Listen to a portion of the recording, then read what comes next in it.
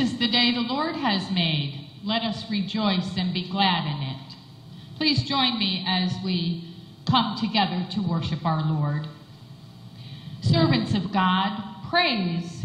Praise Lord. Bless the Lord's name now and always. Praise the Lord's name here every place from east to west. We praise you, Lord, for creating this world in all her beauty. For redeeming the world through Christ our Lord. And for sending us the gift of your Spirit. To encourage, instruct, and sustain us. We long for your Spirit to work among us now. To inspire our ways, to challenge us with your truth, and to equip us for service in your world. Amen.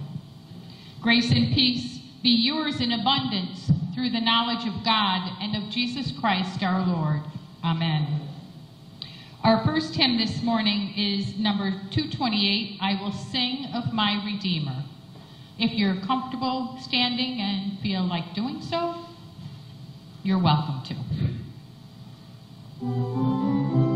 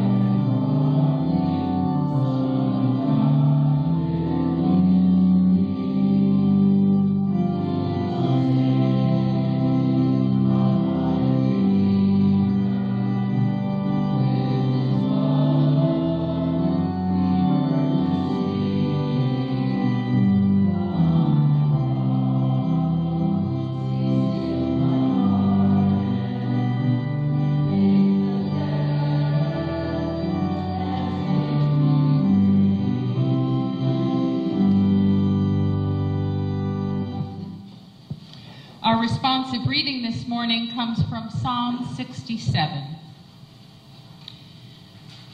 May God be gracious to us and bless us and make his face shine on us. So that your ways may be known on earth, your salvation among all nations. May the peoples praise you, God. May all the peoples praise you. May the nations be glad and sing for joy. For you rule the peoples with equity and guide the nations of the earth. The.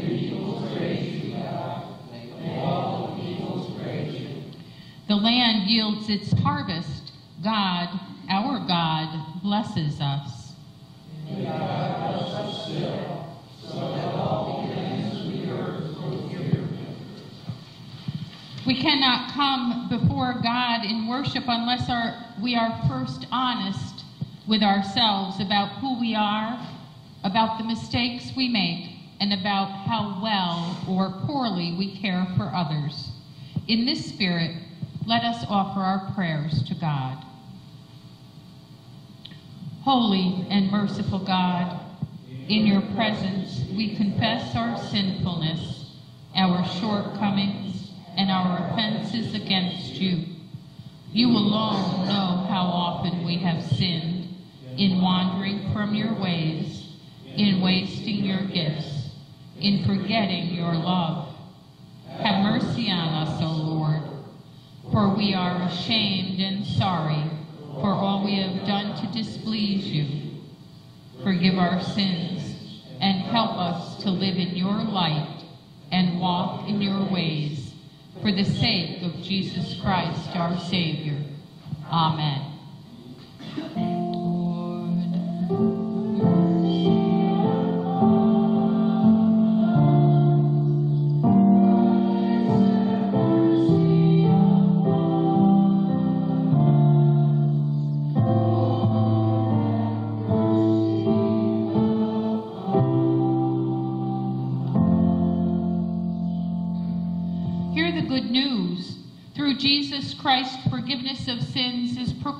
To you. In Christ, we have redemption through his blood, the forgiveness of our trespasses according to the richness of his grace. Know you are forgiven and be at peace. Thanks be to God.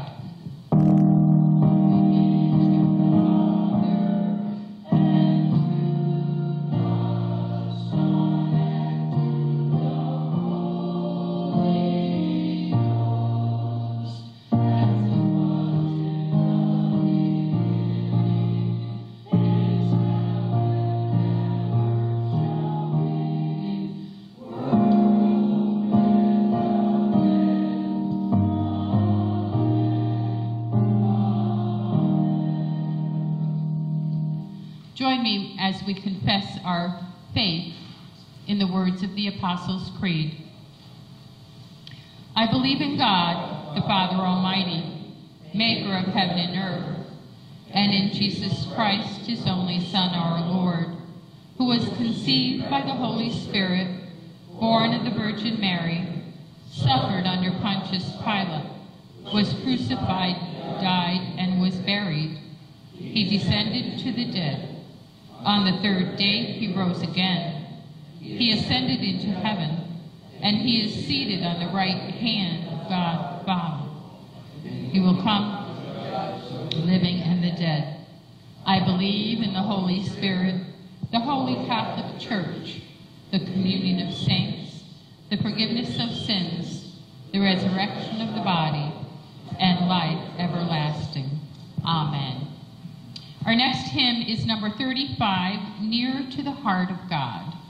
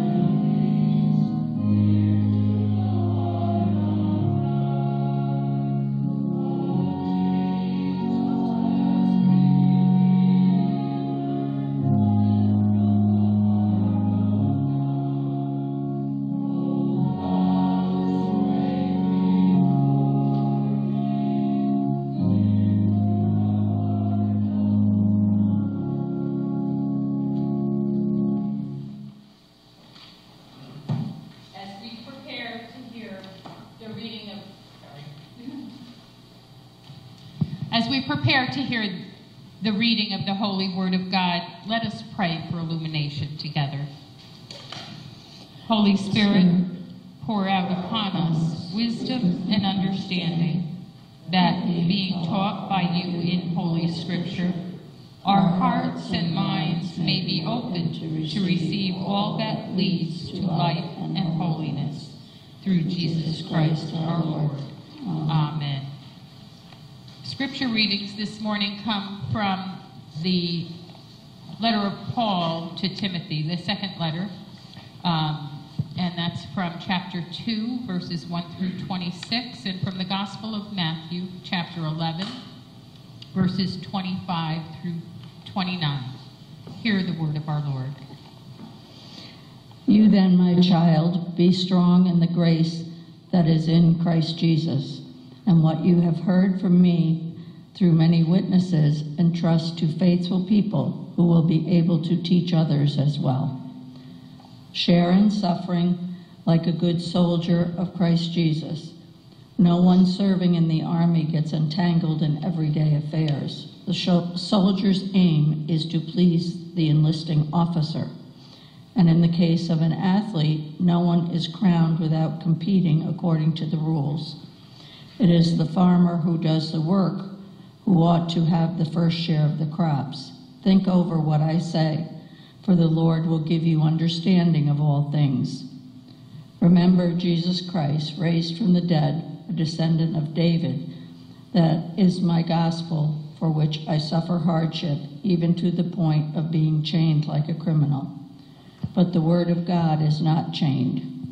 Therefore, I endure everything for the sake of the elect, so that they may also obtain the salvation that is in Christ Jesus with eternal glory.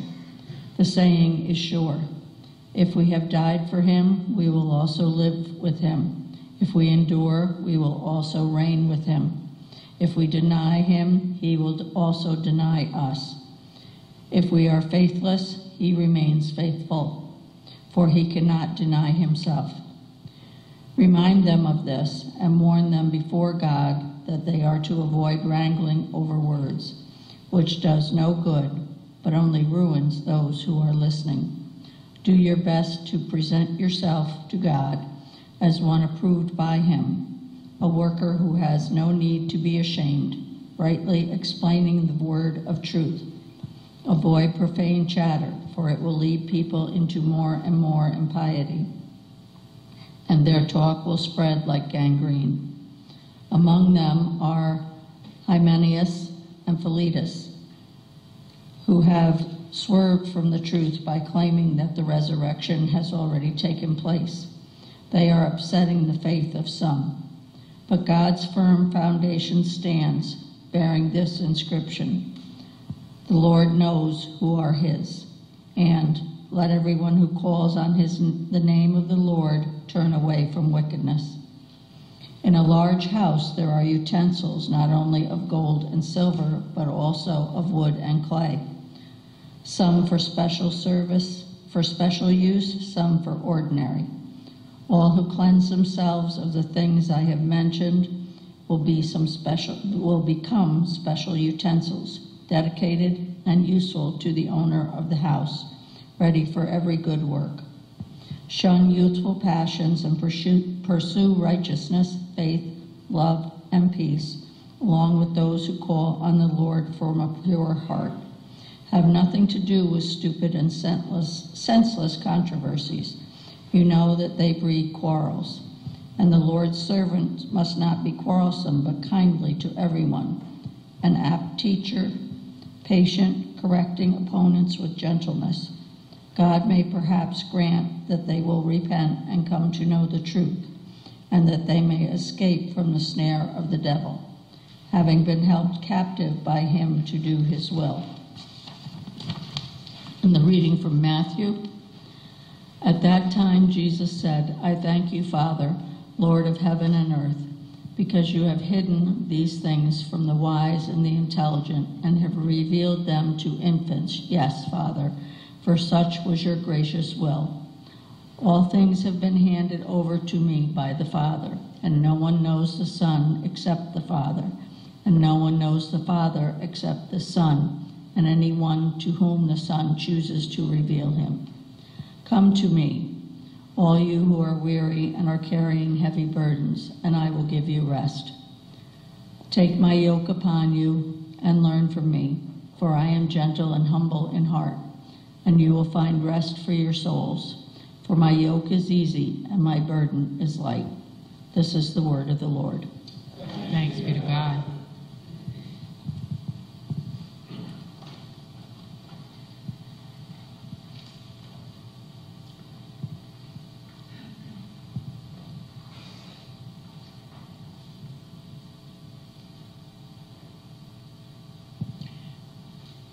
Pray with me. Father, may the words of my mouth and the meditations of our hearts be pleasing to you, O Lord, our rock and our Redeemer. Amen. Proverbs tells us that wisdom has built her house. She has hewn out seven pillars. And James says that the wisdom from above is first pure, then peaceable, then gentle. This week we're exploring the gentleness that helps to build our house of wisdom. And as I studied about this pillar of gentleness, carved by wisdom to support the house that she has built, and in supporting the house that we're attempting to build, God led me to this letter written by Paul to his dear adopted son in faith, Timothy. It's a pastoral epistle. Paul wrote it because Timothy was starting his ministry, and Paul had instruction for Timothy to follow. How to teach the good news to others, to share it with still others. Paul's gospel says, This is the good news, and it's simple. Remember Jesus Christ, raised from the dead, descended from David. This is my gospel. Simply that Christ was born a man of royal lineage, that Christ died and was resurrected. The simplicity of Paul's good news in God's promises in the first covenant were fulfilled by Jesus to bring us to resurrected life in God's eternal kingdom. But as I studied this portion of Paul's letter to Timothy, at first I was confused. I was looking for gentleness. But this text starts out by talking about soldiers. In my mind, I pictured Roman soldiers using force against the Christians, brute strength, or maybe a modern day war movie where soldiers are charging a hill and taking by force the enemies that they're fighting. Now, as I thought about it more, I certainly know some very gentle soldiers. So it's not true of all. And Paul goes on to explain, as I kept reading, that these are soldiers in God's army. So, of course, they would be different from the soldiers that I might picture based on my current day perception of what a soldier is, the images of death and destruction that come. But Paul says that we can't stop at our initial reaction to something. We need to explore deeper, to broaden our understanding so that our preconceived notions aren't what we bring to the Word of God. These are soldiers serving in the army of Jesus Christ under his command. And Paul says no one serving as a soldier gets entangled in civilian affairs, but rather tries to please his commanding officer.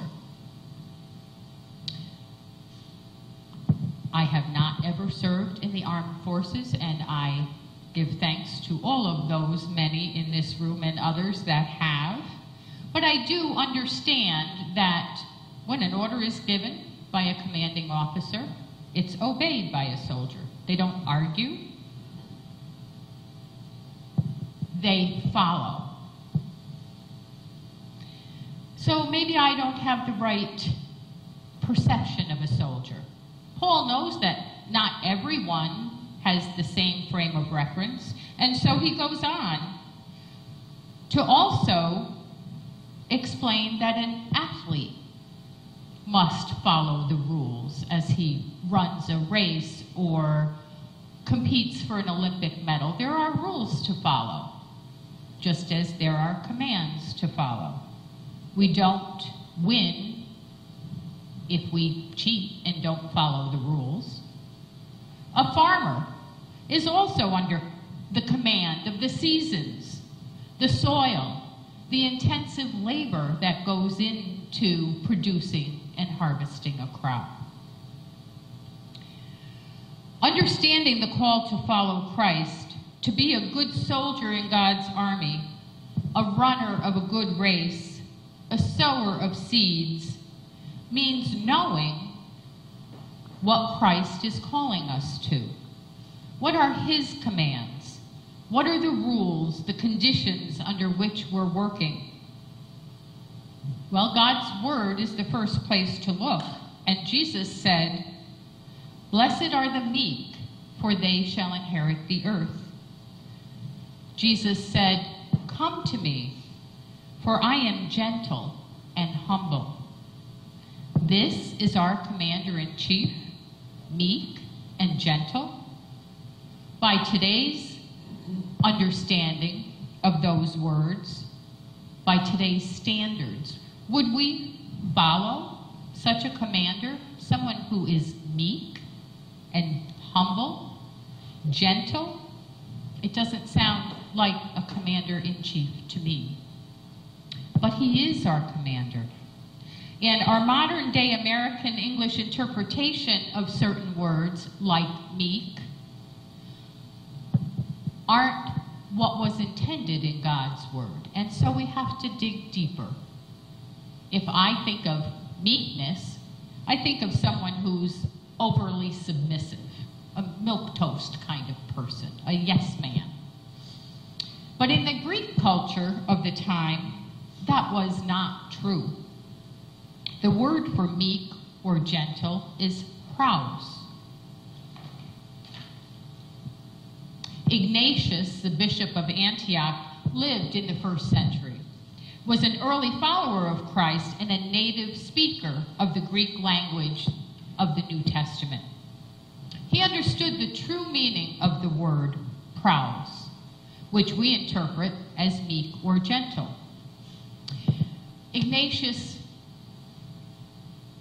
wrote a letter to the Ephesians about 50 years after this letter from Paul to Timothy, Ignatius was on his way to Rome to face martyrdom for his beliefs. He was a follower of Christ. Now, Paul had planted the church in Ephesians, in, in Ephesus, and spent several years there teaching them. Ignatius still had words of wisdom to share with them. He wrote to the church about their response to those who were persecuting followers of Christ like himself. This is part of what Ignatius wrote concerning gentleness, humility, and non retaliation towards the enemies of the church. He said, In response to their anger, be gentle. There's that word, praus. In response to their boasts, be humble. In response to their slander, offer prayers. In response to their errors, be steadfast in the faith. In response to their cruelty, be civilized. Ignatius followed the example of Jesus, the meekest human being to ever walk the earth. When the Jewish scholars were angry at Jesus for allowing his apostles to work on the Sabbath, he responded with gentle explanation. When they boasted of their knowledge of Holy Scripture, he humbly explained the prophesied coming of the Messiah. Jesus demonstrated his gentleness, his meekness, as he washed the feet of his disciples on the night of his betrayal, including the feet of Judas, his betrayer. When the Roman soldiers crucified Jesus and raised his cross on the hill at Golgotha alongside criminals, and they drew lots for his clothing, he offered prayers for them. He told his apostle Peter to put away his sword in the Garden of Gethsemane. Instead of asking his disciples to defend him from the hands of his enemies, Christ shows an incredible act of strength under control as he commands Peter to put away his sword and then heals the ear of the wounded soldier. Meekness is not weakness. Meekness is strength under control. But where do we get this type of self control and desire to be gentle toward all people? To obey what, what Paul said to Timothy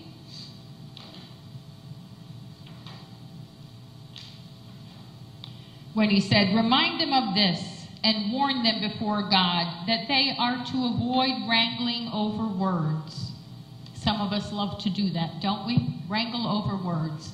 I was talking about my dad earlier, and he was a great debater. He loved wrangling over words. Not out of meanness, and the older he got, the more gentle he got with years, but he liked wrangling over words. Paul also said, have nothing to do with stupid and senseless controversies, which I would say my dad didn't argue over, but if he had a point, he would gently explain his side and then listen to his brother who had very differing points of view. And yes, they had discussion, but they ended it with gentleness, with kind words. They didn't wrangle over stupid and senseless controversies and breed quarrels amongst themselves. Pure gentleness comes from God. God, who is gentle and humble in heart, who gives rest to the weary, who eases our burden and lightens our load.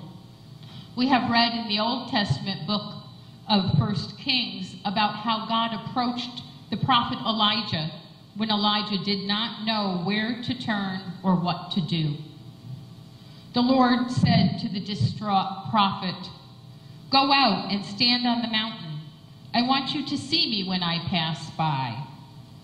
There was a strong wind that shook the mountain and shattered the rocks. Next, there was an earthquake. And then there was a fire.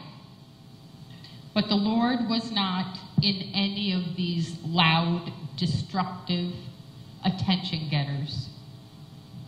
Finally, there was a gentle breeze, and when Elijah heard it, he covered his face with his coat, for he knew it was God. It is in God's gentleness that we see God's mighty strength under control. Made in God's image, we are called to gentleness. Our strength is under God's control. As followers of Christ, we are blessed in our meekness, in our ability to be gentle in our interactions with others. To build on God's word, he gives us other tools to reinforce and better understand what we first learn in Scripture. Aesop's fables might be familiar to many of you. When I was a child, we had a we had volumes on our on our bookcase that contained classics like Aesop's fables. There is one in particular that proves this point. The north wind and the sun had a quarrel about which of them was the stronger. While they were disputing with much heat and bluster, a traveler passed along the road wrapped in a cloak. Let us agree, said the sun, that he is the strongest who can strip the traveler of his cloak. Very well, growled the north wind, and at once sent a cold, howling blast against the traveler. With the first gust of wind, the ends of the cloak whipped about the traveler's body, but he immediately wrapped it closely around him. And the harder the wind blew, the tighter he held on to him, to his cloak. The north wind tore angrily at the cloak, but all his efforts were in vain. Then the sun began to shine. At first, his beams were gentle, and in the pleasant warmth after the bitter cold of the north wind, the traveler unfastened his cloak and let it hang loosely from his body. The sun's rays grew warmer and warmer. The man took off his cap and mopped his brow. At last, he became so heated that he pulled off his cloak and to escape the blazing sunshine, threw him down, threw himself down in the welcome shade of a tree. The moral of the fable, Aesop tells us, is this. Gentleness and kind, kind persuasion win where force and bluster fail. Our God is meek and gentle. As we carve out the pillar that is gentleness, we take God's own Son, Jesus, as the example of how to be meek. God also gives us examples in other Christians. In November of 1871, journalist Henry Stanley located the missing missionary Dr. David Livingstone in the wilds of Africa. Stanley stayed in Africa and lived with Dr. Livingstone for some time, and this is Stanley's testimony. He said, I went to Africa as prejudiced as the biggest atheist in London, but there came for me a long time for reflection. I saw this solitary man there and asked myself, why on earth does he stop here? Why on earth does he stop here? Is he cracked or what? What is it that inspires him? For months after we met, I found myself wondering at the old man carrying out all that was said in the Bible. Leave all these things and follow me. But little by little, his sympathy for others became contagious. My sympathy was aroused, seeing his piety, his gentleness, his zeal, his earnestness, and how he went about his business. I was converted by him, although he had not tried to do it.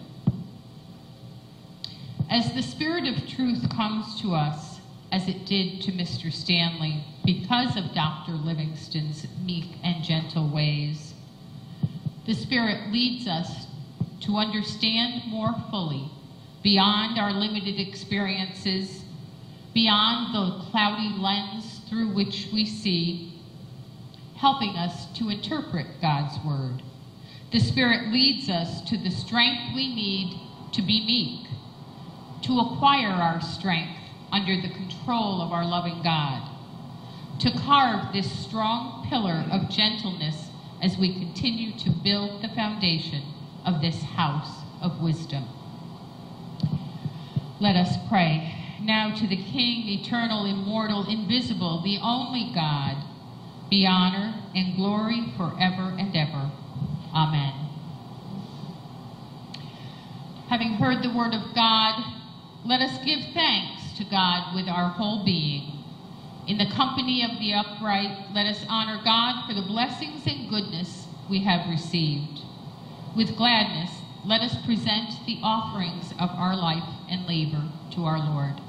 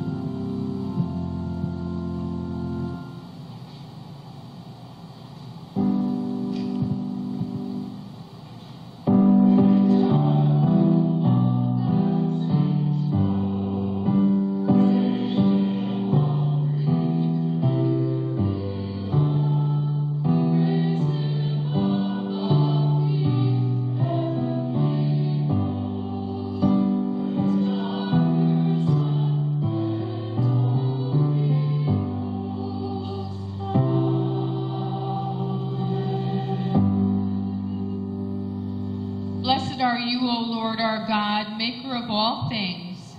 Through your goodness, you have blessed us with these gifts.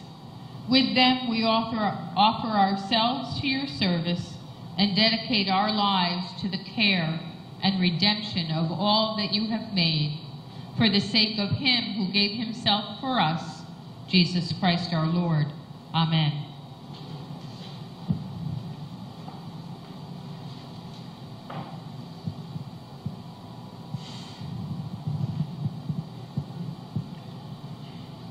Join me as we offer our prayers of thanksgiving and concern to our Lord. We praise you, God, our Creator, for your handiwork in shaping and sustaining your wondrous creations. We thank you for the gift of life and the wonder of living. We ask particular blessings coming to us this day in the families that you give us, the friends you surround us with, the new life that we see in birth and in marriage, in baptism, in commitment to our holy Lord. Lord, we give you thanks for positive test results, lightening loads. We thank you, Lord, for education for students that have taken major steps this year, coming from isolation and going back into classrooms, Lord. We thank you for the educators that teach them and the administrators that have such a heavy burden of trying to keep them in the classroom. Lord, we pray for all workers in our schools. We pray for the bus drivers. We pray for the janitors. We pray for the office support staff. We pray for all of those teachers and aides. And we pray for the students, Lord, that this new world we're living in be made peaceful, that we treat each other with gentleness as we navigate these new roads. We thank you for all the resources of the earth that you give us, Lord. We pray that you be with the hunters as they're in the woods. We pray, Lord, for the help we need in keeping the resources you have given us safe. We pray, Lord, that you help us to treasure all of the gifts that you've given us on this earth. We pray for others, God our Savior, claiming your love in Jesus Christ for the whole world and committing ourselves to care for those around us in his name. Lord, we pray for those that need your comfort. We pray that you make us instruments of your love, that you help us to show the peace and the gentleness that Jesus taught us. Lord, we pray for those who are persecuted in the church. We know it is such a privilege to come here unencumbered to be able to worship you openly with other Christians. Lord, we pray for those who cannot do so out of fear. We pray, Lord, that you give them your strength, that they might be meek and gentle as they lead others to your love. Lord, help us to be examples through our efforts as well as through our words. We pray, Lord, that you remind us always of how Jesus would discuss with others, would not be quarrelsome. Lord, help us to turn to your word, to our ancestors in the faith, such as Paul, to read the instructions you give us, to delve deeper into them that we might better understand. God, our Creator, yours is the morning and yours is the evening. Let Christ, the Son of Righteousness, shine forever in our hearts and draw us closer to your glory.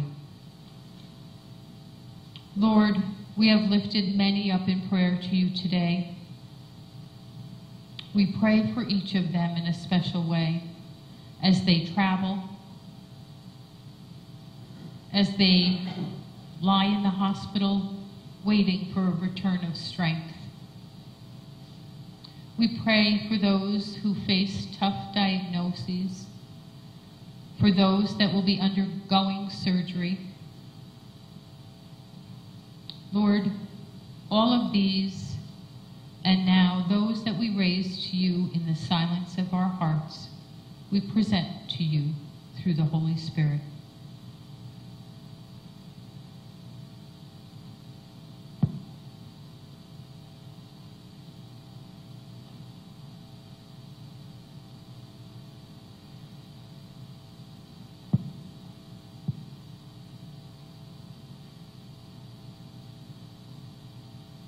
Lord, we often don't mention those that are addicted by name, but you know them. Those that suffer from mental illness, from depression, from the effects of traumatic incidences. Lord, you know them, and you hold them close in your love. Help them to find the help that they need here through your guidance. Send your servants, send us, Lord, to be with them, not to be quarrelsome or dogmatic, but to listen, to instruct with gentleness, to grant them rest as Jesus offers us always. For his burden is light. His yoke is easy.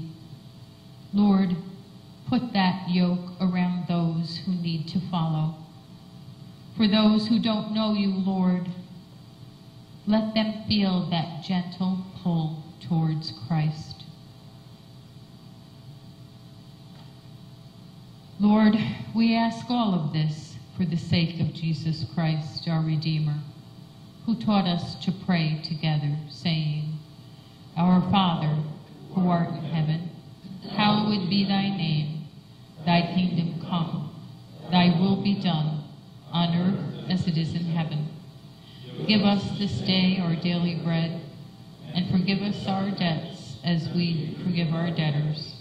And lead us not into temptation, but deliver us from evil. For thine is the power and the power and the glory forever. Amen. Our closing hymn today is number 591, Just a Closer Walk with Thee.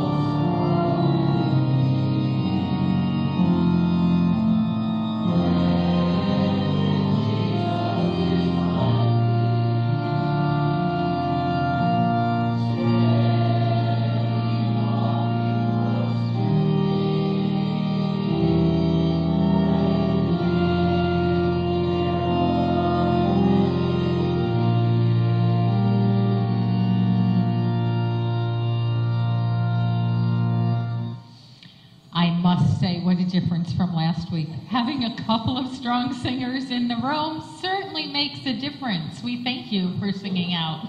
and now, as we leave this place to serve the Lord in our own mission fields, take with you this benediction. May the grace of Christ, which daily renews us, and the love of God, which enables us to love all, and the fellowship of the Holy Spirit, which unites us in one body, make us eager to obey the will of God until we meet again through Jesus Christ our Lord. Amen.